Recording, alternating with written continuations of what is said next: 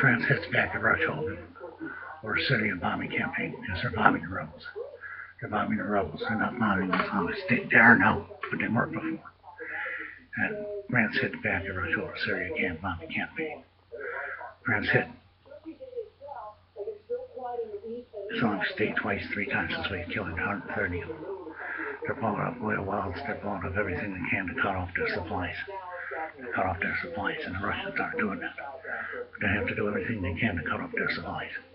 Have to do everything they is right. Have to do everything they can to cut off their supplies.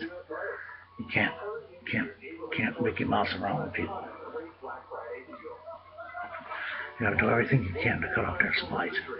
Everything you can to cut off their supplies. And uh, it's the only way you're going to stop. It's the only way you're going to stop them is to keep on hitting them in the wall. You know, keep on hitting them in the wall. Sooner or later, they're going to run out of money. Sooner or later, they're going to run out of well, people to pay. Sooner or later, they're going to start fighting amongst each other. Because they won't be able to pay anybody. This is something you can start from loose. Francis right, Russia's wrong. Thank you very much.